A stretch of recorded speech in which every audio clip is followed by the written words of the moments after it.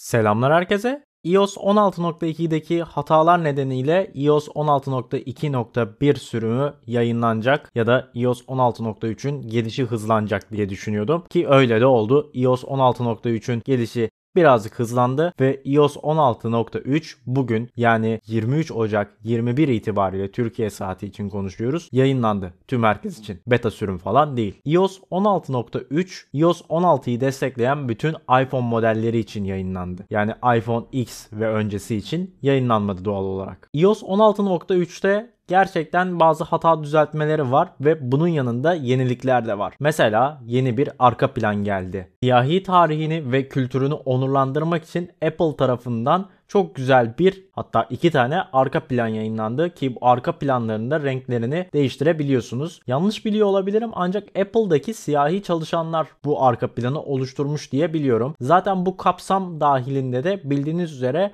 Apple Watch için kordonlar da üretiliyor. Orada da özel arka planlar oluyor. O tarihi özel günleri unutmamak için markanın yapmış olduğu güzel bir çalışma. Diğer yeniliklere baktığımızda ikinci jenerasyon yani yeni tanıtılan HomePod desteği iOS işletim sistemine ev uygulamasına geldi ki beklenen bir güncellemeydi. Apple üyeliklerini daha güvenli hale getirebilmek için iki faktörlü doğrulama servisine artık fiziksel güvenlik anahtarlarının desteği de geldi. Fiziksel güvenlik anahtarları henüz ülkemizde çok yaygınlaşmadı. Ancak güvenlik kimisi için gerçekten çok ön planda oluyor ve böyle bir şeyin önünü açabilmek, Apple'ın yazılım tarafında da buna destek verebilmesi gerçekten güzel bir özellik. Ben kullanacak mıyım?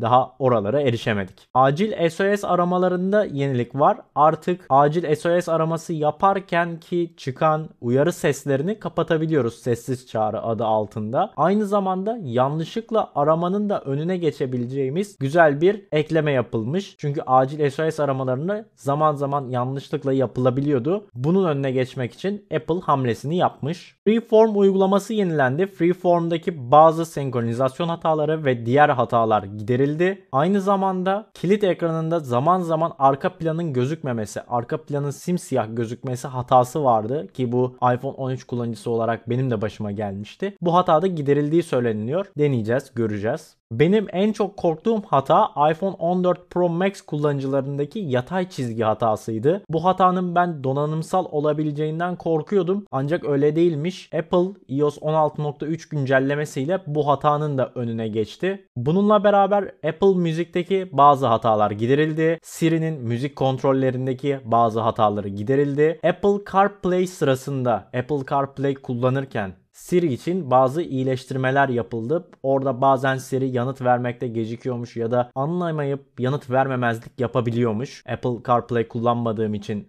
iPhone'da onu da deneyimleyemedim. iOS 16.3 için batarya iyileştirmesi yapıldı mı ya da performans tarafında bir iyileştirme var mı? Henüz daha bunları gözlemleyemedim. Daha iOS 16.3'ü yaklaşık 20 dakika kadar kullanma fırsatım oldu ve daha bunları söylemek için çok erken. Siz eğer bu videoyu izliyorsanız izliyorsanız ve iPhone'unuza iOS 16.3'ü kurduysanız bunun cevabını sizler verin. Yorum satırında belirtin. Performans anlamında ve batarya optimizasyonu anlamında iOS 16.3 sizce nasıl?